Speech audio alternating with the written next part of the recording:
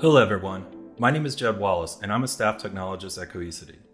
Today I'm going to show you how to configure the Cohesity and CrowdStrike integration, and then show you how the CrowdStrike LogScale platform can ingest, index, and analyze alert data to evaluate potential anomalies or ransomware in your environment, which your Security Operations Center can then further review and act on. One of the biggest challenges many companies face is the vast amount of data they need to sift through in their environment, regardless of whether they support multi cloud or on premise workloads. Taking multiple input sources and filtering on specific events, timeframes, or patterns on those input sources is critical to rapidly respond to a security event. CrowdStrike Falcon Log Scale helps organizations manage and analyze their log data more efficiently and offers an integration with Cohesity that we'll cover in this video. By integrating anomaly logs in the CrowdStrike log scale, organizations can experience several benefits, including unified threat visibility, intelligent threat detection and response, and compliance adherence. You can integrate Cohesity with Falcon Log Scale to stay updated with the anomaly alerts from your Cohesity Data Cloud for analysis, visualization, and intelligent action from log scale instance. For example, let's imagine our company is dealing with an active security event. If we start seeing anomalous activity in our backups, that can indicate a compromise. The sooner we know an attack is in progress, the sooner we can respond to minimize the impact. So let's take a look at how simple the integration setup is. And let's log into our log scale instance. Here we would then click on add new to create a repository which would then require entering a name, description, and time limit for log retention. But for this demonstration, we'll use an existing repository. Now we need to generate a new ingest token. From the log scale home screen, select, in our case, the repository called demo. Next, select the settings tab. From the left navigation bar, select ingest token, then click add token.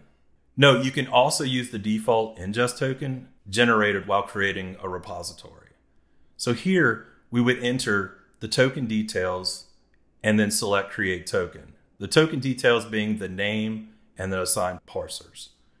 We're going to go ahead and click cancel since our token has already been created for our existing integration setup. Note, when you send logs for log scale for ingestion, they will be parsed before they are stored in a repository. The next step is configuring the CrowdStrike log scale instance on the Cohesity Security Center to build a secure connection to fetch the anomaly alerts.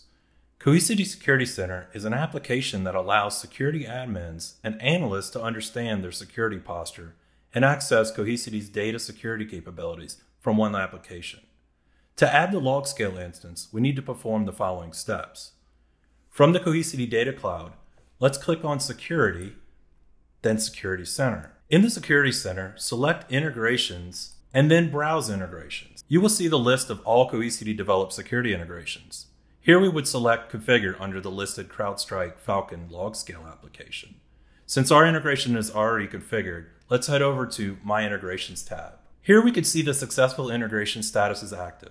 If I click on the three dots next to the integration and select Edit, you can see the settings and information I entered during the initial setup. In your case, in, you would enter the Falcon log scale instance authentication details and click continue, which is the log scale URL and ingest token generated earlier.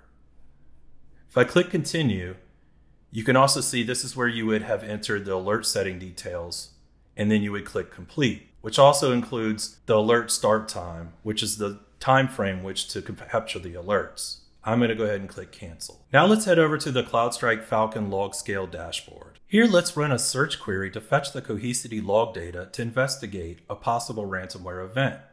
To run the search query, fetch the Cohesity log data, we are going to select the repository named demo. Then we're going to select the required time interval, which in our case is seven days.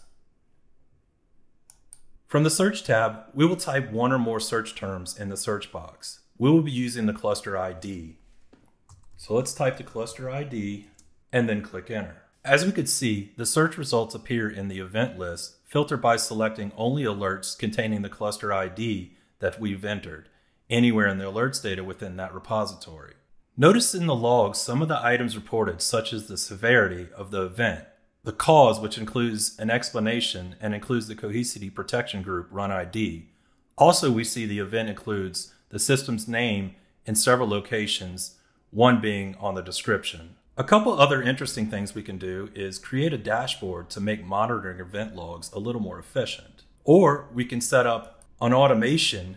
For instance, if we want to automatically generate a notification to a security analyst of a possible anomaly so they could start to investigate and perform forensics. This completes the overview and demonstration. In conclusion, the integration of CrowdStrike Falcon Log Scale with Cohesity brings together security and data protection functionalities allowing organizations to streamline their security operations, enhance threat detection and response, and ensure the availability integrity of their data.